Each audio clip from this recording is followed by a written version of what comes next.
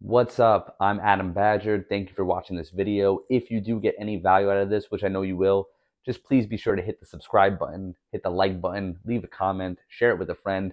Anything you can do to get this information out there, I believe it's genuinely very valuable and helpful to people who are trying to lose weight. So today we're going to be talking about three by three, easy to follow fat loss nutrition plan this is something that I start clients on, or maybe someone who has never tracked before and they're just looking for an easier place to start. This is where I start them. And it's very customizable towards your individual preferences and lifestyle. It's just about actually applying the information that we're going to go over using this template. So, three by three means you're going to do three things at each meal three times per day. So this is based around a breakfast, a lunch, and a dinner. I feel that the biggest problem people have when it comes to weight loss is that they don't eat enough nutrient dense foods to feel full throughout the day. It leads to grazing, snacking, and over consuming calories uh, throughout the day or at night after the workday is over and you're kind of relaxing, people then tend to overindulge or they have really high sugar cravings. So if any of that resonates with you, definitely give this a shot. It's going to help you out a lot. So at each meal, you're going to have these three things present on your plate is you're going to pick out a protein. I'm sure you saw that coming. Two most important things are going to be your total calorie intake and your protein intake. Your protein intake is going to keep you full throughout the day. It's going to guide better food decisions throughout the day. It's going to help you build a more balanced meal. Uh, this whole structure is based around getting you enough protein through the day so that you're supporting lean muscle, you're controlling your appetite, you're controlling your sugar cravings and your hunger cues throughout the day. And it's going to allow you to stick to your diet easier. It's going to make it easier to adhere to. Find a hand sized portion of a lean protein source, and that is going to be the star of your meal. That's going to be the main thing that you focus on on your plate at every single meal. So I say a hand size. I'm sure you've seen palm size before, and your palm is always going to be smaller than your whole hand. I want us to get as much protein in as possible to be as full as possible. So I say go with a hand size. So even if you got a really tiny hand, you're still getting more than you would if you went by your palm. Uh, so about a hand size portion of a lean protein source. Step number two you're going to pick your produce. It's going to be a fruit or vegetable. If you're preparing a stir fried vegetable, I probably wouldn't use three tablespoons of butter or a half a cup of oil to prepare it in. I would use cooking spray or just a drizzle of olive oil or something like that. Uh, but any vegetable or fruit, uh, don't be afraid to eat fruit. It's very filling. It has a lot of nutritional value. It will not make you fat because of sugar.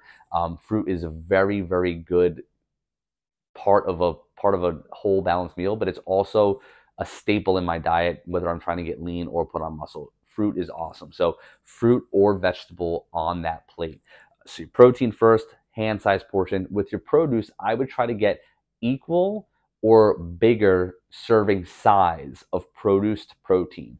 The reason why is because with your produce source, it's very uh, low calorie, very nutrient dense. So for vegetables, for fruit, you can eat a lot of it for a very small amount of calories. So let's say for protein source, let's say you have a, a four ounce steak, try to get like two cups of veggies on that plate and watch how much more, watch how more satiating the meal is when you have all that protein or all that produce.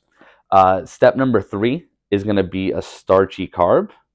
I emphasize starchy because again, we're trying to get more voluminous, nutrient dense food in our life. So a starchy carb is going to be something that is fibrous, that takes up room on the plate. And for this one, I would go with about a cup of a cooked version of this. So if we're talking about rice, it would be a cup of cooked rice. If you're talking about a potato, it would be a cup of it cooked potato, a cup of cooked oatmeal. And you can look up conversions like what is an un, what does an uncooked version of something get you uh, when it's cooked. So like rice, pasta, oatmeal, it's generally like a I, I think it's kind of close to like a three to one ratio.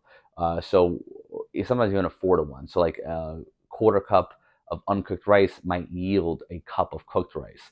So what you're doing here is you're measuring by the cooked version.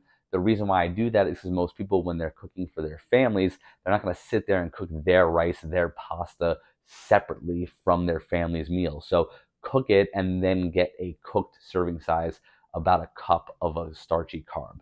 So we're going to go through what foods fit into each of these categories. First up, proteins. So again, you're choosing a lean protein source, about a hand-sized portion to fit on your plate at every single meal. What do I eat to get protein? Almost everything is on this list. There's actually even more options than this, but this is a ton of options that'll fit on the screen while I'm holding this whiteboard. Eggs and egg whites. With eggs and egg whites, I like to do a mixture of both. So a couple of whole eggs mixed with a few egg whites. Or if you want to save some calories, you can just do a cup of egg whites. There's nothing wrong with eating the yolks, but if when you do a cup of egg white, obviously saves you a little bit of calories, but yolks are totally healthy for you. So a mixture of eggs and egg whites, generally going more egg whites to whole eggs to get the protein up, but to reduce the total number of calories. Greek yogurt or whey protein, these are all really good kind of like breakfast snack options.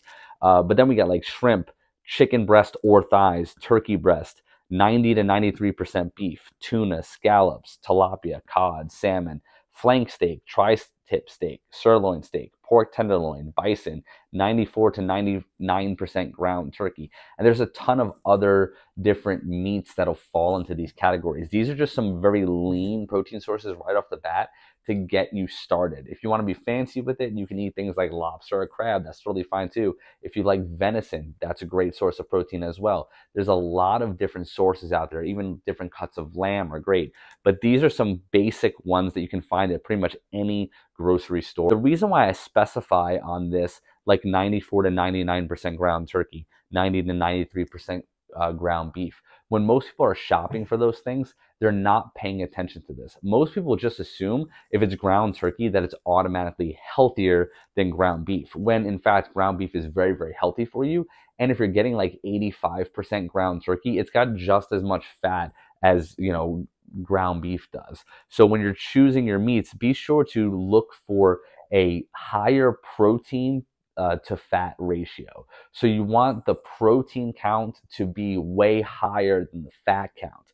If you get something like 80% beef, it's actually got more fat than protein. So for one serving of that, you're getting like almost double the amount of calories as you would from like a 93% amount of beef, way more fat and way less protein. So when you're looking at a portion of like 80% beef versus 90% beef, it looks exactly the same. So, to the average consumer, they're going to think, well, it's the same calories, it's the same thing. They look exactly the same on the plate, this exactly the same in the packaging. Same thing with like 94% ground turkey versus 85% ground turkey. There's a literally no difference on the plate or in the packaging. But one has way more calories and fat than the other. So pay attention to the protein to fat ratio. You want the protein way higher than the fat. And all of these options are going to get you at least 30 grams of protein per hand size portion. So start your plate with one of these for three meals a day. Next up, we've got produce. So after you pick your lean protein source, you're gonna add a produce to the plate. So many options to choose from, and none are drastically better or worse than the other. So this is one that I definitely wouldn't overthink. When you're choosing your protein, it's good to pay attention because there's a lot of foods that are just marketed as high protein foods that are just not. When you see things like protein peanut butter or protein pancakes or protein chips or things like different sausages, like those are technically foods that have protein in them, but it's very deceiving if you don't know what to look for, if you don't know how much protein you're looking for in each serving. So again, you don't have to meticulously track this stuff, but when you're choosing your protein source, it's very important to be aware of the nutrition facts and look at the protein to fat ratio and look at how much protein you're getting per serving versus the total calories. The thing about produce is there's so many options to choose from it's almost impossible to not be able to find something that you like. So i listed a i have a very short list here because there's just too many to write down. So when you're talking about produce you can talk about green veggies things like green beans broccoli brussels sprouts asparagus. But again there's a ton of options under that. These are just some that i eat pretty regularly in my diet. You can even go with something like a salad. A salad is just a mixture of different vegetables. You can be pretty liberal with the dressings that you pick, as long as you're not like, you know, using half a friggin' bottle of dressing on your salad, you're probably going to be good. So when you're choosing a dressing for a salad, yeah, you can pay attention to the calories, but at the end of the day, the difference between 100 calories per serving and 50 calories per serving is not going to cause you to gain unwanted weight. So we don't want to overthink something like that. But salads are great. Just watch the add-ins, watch the dressing, any type of green vegetable. Uh, for fruit, you know, I'm sure you guys know what fruits are, right? Apples, bananas, berries, pineapple, kiwis, watermelons, grapes, oranges. Like there's a ridiculous number of fruits to choose from. And again, none are drastically better or worse. Get, if you're doing something like a banana or an apple, right? Have one of them. If you're doing something like berries or pineapple or kiwi or watermelon, have about two cups of it uh, you know, of a diced version of that fruit on your plate. Don't overthink this stuff, guys. If you have a good serving of produce on your plate, you're going to be more full. The meal is going to be more nutritionally balanced, and you're going to have better hunger cues and you know blood sugar levels throughout the day. So step number two would be to pick from the list, the endless list of vegetables and fruits that are going to taste good, that you like, that you, you like the way you prepare them, and add them to your meal to complete your plate third part of the three by three plan, the starchy carb. Now, this is the one that kind of tends to freak most people out, right? Because we've been told for so long that you shouldn't eat carbs. If you're trying to lose weight, you got to watch your carbs, you got to stay away from carbs. So I've literally had people that I've coached when I first started coaching them think that they can't eat a potato. They're afraid to eat a bowl of oatmeal. They're afraid to eat fruit. They've been told and just brainwashed to think that carbs are going to make them gain fat. But starchy carbs are a great addition to your to your meals.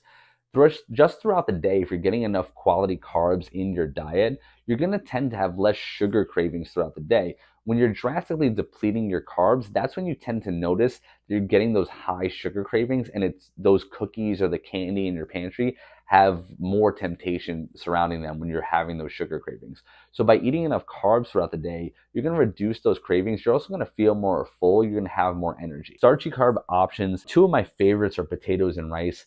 There's just a ton of different ways that you can prepare them to make them taste pretty good, and they go with almost any of the protein options that I gave you. So for potatoes, you can do like mashed potatoes, obviously not loading it up with cream, butter, uh, and, and stuff like that, but some sort of mashed potato, a baked potato, diced potatoes in the air fryer, slice them up into fries and air fry them or bake them in the oven. So there's a lot of options there. You can make like breakfast potatoes or breakfast hash browns. Again, just obviously not like frying them. Rice, super easy. I can make a pot of rice in 30 minutes. That's going to last me for the entire week. Very, very convenient carb source.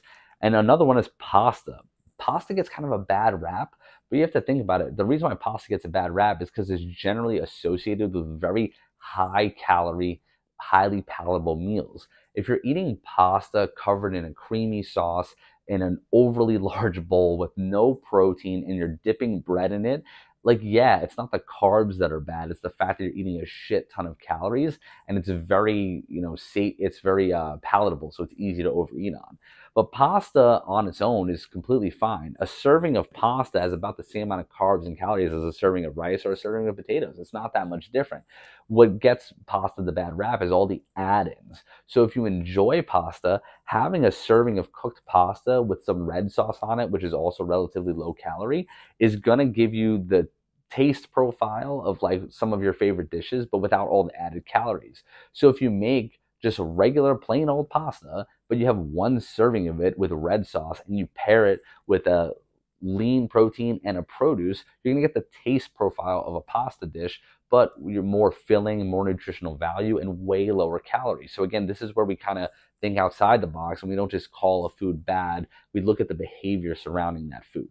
Uh, oatmeal, grits, cream of rice. Those are great breakfast additions to have on the side with your eggs or a protein shake or Greek yogurt. Uh, sourdough bread. I mean, don't overthink this stuff, guys.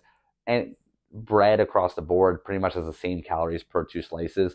Yes, if you're going and getting a foot long sub and you have 98 grams of carbs, which is equivalent to like 400 calories of bread, probably not the best decision. But again, it's not the carbs that get you, it's the calories associated with that meal. But having a couple of slices of toast with your breakfast or having a sandwich for lunch, putting five ounces of turkey on a sandwich for lunch is totally fine. You can lose weight doing that.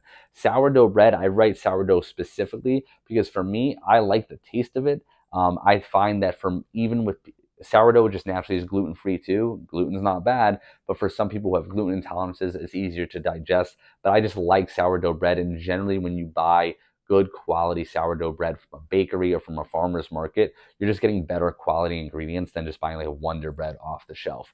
But don't overthink that. Any two slices of bread can pretty much fit into that category. Quinoa is another one that a lot of people like to eat. But as you get used to the stuff, you get consistent with it, you can be very, very flexible with your approach. But for now, when you're just starting out, start with one of these, add about a cup of a cooked serving of this to your meal along with your protein and your produce. Again, don't even overthink this stuff. All right, if you stayed through the whole video and you got value out of it, but you're like, Adam, I don't remember everything you said, I have a downloadable PDF in the description of this video, totally free. It just breaks down everything that I talked about and lists out the specific foods that I talked about on here with pictures and serving sizes on there. So if you got value out of this, but you don't quite remember everything that we talked about, download the PDF in the description of this video. And if you have any questions, just drop it in the comments. Thanks for watching and make sure you subscribe.